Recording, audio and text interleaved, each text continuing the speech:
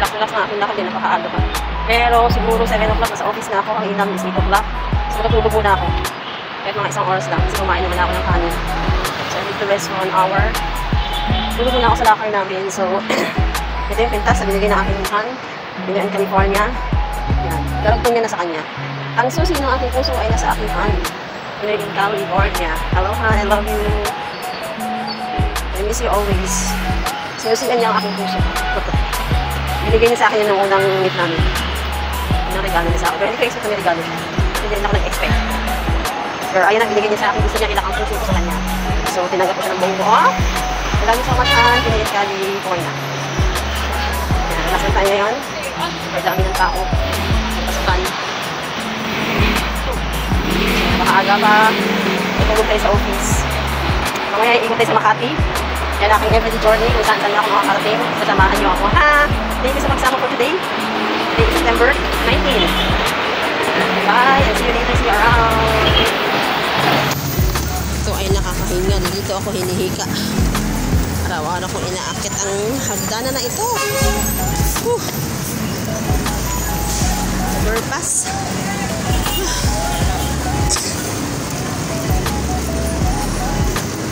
Lalo ako hinihika dito. Maaga ako umalis para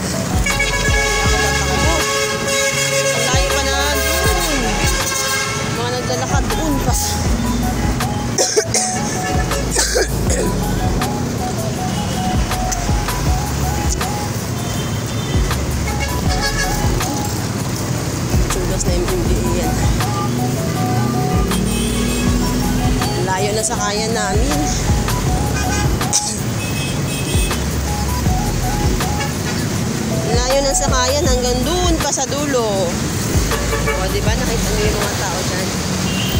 Ah. Ayan. Di ba? Napaka-traffic. Traffic ano? Di ba? Ano di kain eh. Pero okay lang. Life must go on. Diba? Diba? Napaka-traffic. Ayan ang Pilipinas. Yan Maynila. Traffic. Diba? Unang rota, papuntang Makati. Yan ang service namin. Sasakay ako ng service sa balikan. Ano yung mga drivers na nandito ako sa ito. Yan yung dito namin. Para. See you later. Hi guys, napaka-haggard ko today. Diyos ko ginoo. From Makati to Fairview, north to south ng aking orota ngayon. Bigla ang sugo dito sa south kasi isang tao namin.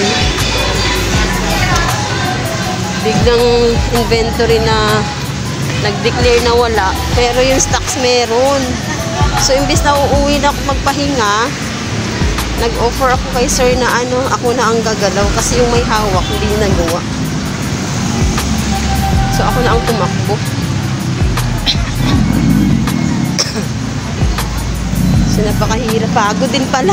Enjoy pero nakakapagod pagka north to south. Dapat ang tatakbo mo lang south lang. South lang talaga. Yung south south hindi north. Sa bagay, ako naman nag-offer na na high blood si Sir Mike kanina. Ang among, ang among boss na high blood. Sobrang high blood niya, yun. Sabi ko, ako na lang sir, tatakbo doon. Ngayon, napakahirap. Sakit na ng paa ko. Tapos bukas maaga kami, punta kami Angeles, Pampanga. So, see you later. Shams Vlog ay pagod na. Sobrang pagod ni Shams Vlog. Ewan ko na kung makakalakad pa ito ng maayos bukas. Pahinga ako ng maayos. Woo! Bye and bless you everyone. Hello. Grabe ang takulan. Anong oras na kami? Nakauwi galing sa Pampanga. Kagabi. Doon, sa isang Pampanga.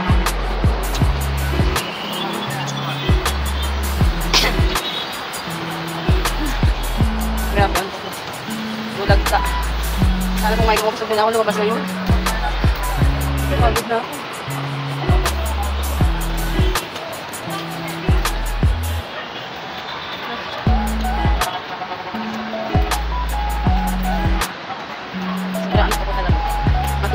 Sa jeep tapos sa locker. Today is Webes. Webes na ngayon. So Friday na. Hindi ako sa linggo. linggo. Hindi na sa linggo. Gusto ko na mag-day off. Matulog.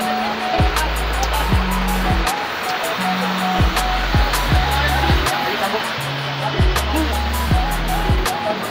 Napagod na ako. Guys. See you later. Thank you so much. Um, ang hirap pala nito nung ano. Nahihilo ako. Umigot yung paningin ko kasi mula pagsakay ko sa jeep. Mula pagsakay ko sa jeep, ah, ang lalim ng tulog ko. Diyos me, nahilo tuloy ako ngayon pero lakad-lakad pa rin ako. Ang lalim ng tulog ko para ako nasa bangs sa unit. Para ako nasa unit, ah, para sa kuweba. Nakikita ko talaga yung kuweba sa ano sa tulog ko. Sobrang lalim. Tapos pag dilat ko ng ano, sa, kasi ang sinasakyan ko terminal to terminal, so, syempre natulog na ako. Napagod ko ito kagabi. Wala, umiikot yung paningin ko yata. eh. Dito pa naman ako sa highway. Tapos, ano, pababa ko ng jeep, biglang dilat, nahilo ako, umikot yung paningin ko. Yung lakad ko ngayon, napaka, dito pa naman ako sa highway. Pati salita ako, apektado. At kaya, ang hirap pa lang matulog ka ng malalim. Tapos bigla kang dilat, ano? Napagod, bigla kang dilat. So, nahihilo ko, umiikot yung paningin mo. Ah, Diyos ko, may marimar. Nakalimutan ko pa yung relo ko. Ah, Diyos ko. Oh, ang lalim ng tulog ko, grabe. Ang hirap pa. First time ito nangyari sa akin. Nahihilo pa rin ako pero naglalakad lang ako handa. Hanggang nasa highway. O, tignan nyo lang. Ito sasakyan ako.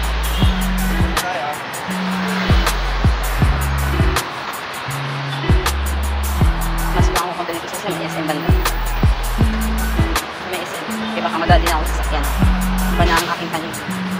Grabe. Ngayon ko lang ito naranasan. Yung malalim ang tulog. Yung pahiramdam ko talaga nasa kuweba ako. Tapos pagbaba ko, biglang dilat ng mata ko. Umiikot na bigla paningin ko. Lah, pagbaba ko para na akong lasing. Ganito pala pag masarap ang tulog kasi sa sasakyan ka, ikot talaga yung paningin mo. Ano? So dito ako dumaan kasi highway siya. Oh. Baka bigla ako masagasaan dyan. Pero umiikot. Actually, yung aking paningin, gumagalan ganun. oh. Hindi na nilakad ko napakadahan-dahan ang aking lakad. Pinapapawisan na ako ng, ah, di ba ako makagit over kasi tapos may pikit yung mata ko. Oh my God. Wala ang aking hangin kasi hindi ko makauspahan ko kahit paano ma-refresh yung utak ko. Man. Hello. Hmm.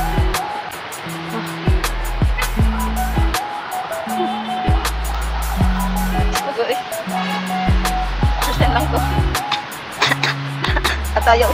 Woo! Nabubo pa ako. Woo! So, let's see you later. Hala, nahilo ako. So, eto, nakauwi din ako ng maayos. Ikagay kanina ng umaga, lamya-lamya ako kanina ng umaga. Kasi, hinaiblad ako kanina ng umaga. Kasi, uminom ako ng gamot. Buti nakarating pa ako sa office namin. Muntik na ako madali doon. Muntik na ako hindi makahinga. so, pauwi na ako galing opisina. Ay, hindi pala ako sa office. Maaga ako nag-out sa office. So, nagpunta ako sa tatlong store. SM Grand Central, dalawang outlet, tsaka isang Victory Mall. So hanggang 5 lang ako doon. Pagpatak na alas 5, out na ako agad. So ang office hours kasi namin 8 to 5. 8 to 5. So pag umiikot ako, pag alas 5 na, out na ako. So thank you Lord dahil another chance na naman ng aking life. Dahil muntik na ako madali kanina, halos hindi na ako makahinga. Nagpawisan na ako ng malamig. Sabi ko, Lord, paratingin mo lang ako ng opisina. Kasi ano dun eh, may mga, syempre may mga aalalay sa akin dun. Naglakad-lakad ba naman ako ng paika-ika pag ganun ganun oh. Sabi ng driver, ay ano, mga nasa tabi na nakatambay na angkas. Okay ka lang, ma'am. Okay lang po. Kaya naman. Huh. Akala ko kanina mapaano na ako. Kasi, alas 4 ako nagising, naligo, hindi uminom ng init tubig. Tapos, bago umalis, uminom ako ng gamot. So, liquid yun dahil sa ubo ko nga. Kahit pa paano wala na yung ubo ko. So, edi, paglalis ko doon, wala pa naman. Ang epekto nga niya 30 minutes. Nung pag sakay ko ng jeep, papunta SM North, bigla akong natulog. Tapos, pumikit yung mata ko. Tapos pagpikit ng mata ko, hindi na maidilat. Talagang tutulog na ako. Tapos, parang nakita ko yung yungib. Alam mo yung parang nasa kuweba ako. Yung mata ko pumipikit na ilal. Ang itim. Ito yung kuweba ng mata ko talaga. Natutulog talaga siya. Ayaw dumilat. Hindi natulog na lang ako. Pagbaba ko ng jeep, gumanon gano'n pa nag yung paningin ko. Grabing ikot oh. Daig pa ng lasing. Nilabanan ko talaga. Tingnan mo guys, yung bata nag-aaral. Papasalamat ako, Lord, na bigyan mo ba ako ng another chance. Thank you, Lord. Tinaluhan, California,